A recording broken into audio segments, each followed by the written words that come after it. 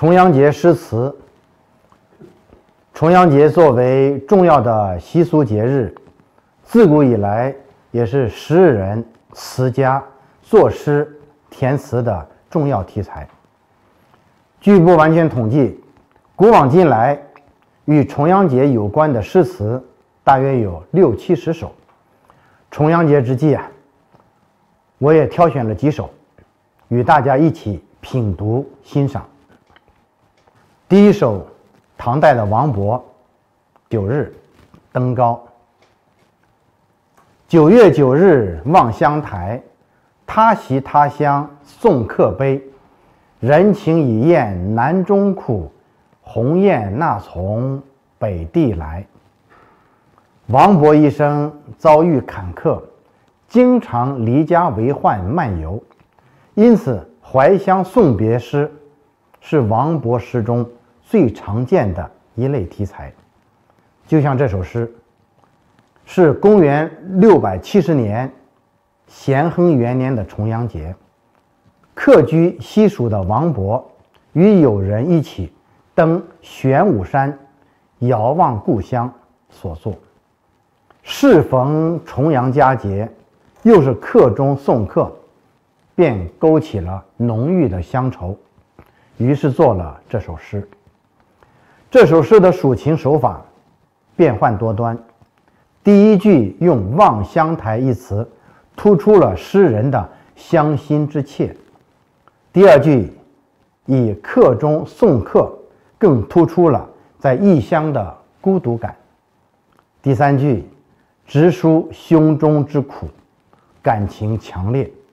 第四句却委婉别致，借景抒情，以鸿雁的不知南中之苦来表达自己的思乡之情。这样反复的抒发，更是突出了。乡愁的浓烈。第二首是唐代王维的《九月九日忆山东兄弟》。独在异乡为异客，每逢佳节倍思亲。遥知兄弟登高处，遍插茱萸少一人。这首诗写出了游子的思乡怀亲之情。啊，诗一开头。便紧切主题，写异乡异土生活的孤独凄然，因而时时怀乡思人，遇到佳节良辰，倍加思念。接着诗呢，一月而写远在家乡的兄弟，按照重阳节的风俗而登高的时候，也在怀念自己，诗意反复跳跃。含蓄深沉，既朴素自然，又曲折有致。其中“每逢佳节倍思亲”更是千古名句。第三首是宋代李清照的《醉花阴》：“薄雾浓云愁永昼，瑞脑消金兽。佳节又重阳，玉枕纱厨，半夜凉初透。”东篱把酒黄昏后，有暗香盈袖。莫道不销魂，帘卷西风，人比黄花瘦。这首词是作者婚后所作，他通过描述作者重阳节把酒赏菊的情景，烘托了一种凄凉寂寥的氛围。表达了作者思念丈夫的孤独与寂寞的心情。上片咏节令，写别愁；下片呢，写赏菊情景。在自然景物的描写中，加入了自己浓重的感情色彩，使客观环境与人物的内心的情绪交融交织。尤其是结尾三句，用黄花比喻人的憔悴，以瘦暗示相思之深，含蓄深沉，言有尽而意无穷，历来被人广为传颂。第四首是元代张可久的禅宫曲《九日》。对青山强整乌纱，归雁横秋，倦客思家。翠袖殷勤，金杯错落，玉手琵琶。人老去，西风白发，蝶秋来，明日黄花。回首天涯，一抹斜阳，数点寒鸦。作者写的这一首散曲，是被后人称作清且丽的散曲。作者借重九登高远望，引发倦客思家的情怀，写深秋时候景物，表达了暮年。愁绪的深沉。张可久终生仕途失意，故终日沉湎于诗酒世界，寄情于山水之间。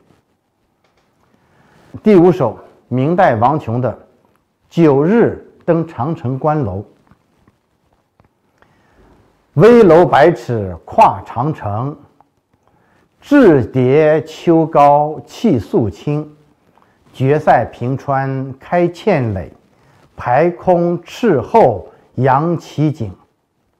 已闻胡出河南境，不用兵屯系柳营。几喜玉容全上策，依兰长啸晚烟横。这是一首由修筑长城的将领写的长城诗，长城关。气势雄伟，登高远眺，朔方形势尽在眼底。这首诗描写了作者重阳节登上长城关楼时所见的雄阔景色，并已听到敌军已撤出黄河以南地区，军中不用再戒备森严的消息，来衬托修筑长城的作用和意义。这首诗反映出明代边防的严酷现实和他忠于国事、勤劳为政的可贵精神。第六首，秋瑾的《九日感赋》：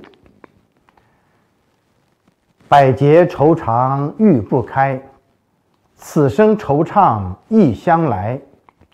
思亲堂上朱初插。义妹窗前聚乍财，对局难逢原谅酒，登楼匮乏种宣财。粮食佳节成辜负，旧日欢场办事台。这首诗是秋瑾一八九六年婚后出来湘潭不久而作。秋瑾远嫁他乡，离开了亲人，在重阳佳节之时，心情格外的苦闷。这首诗首联采用了直白的方式，写出了诗人愁肠百结、满腔忧思无从排解、无计消除。九月九日，他在堂上插上了茱萸。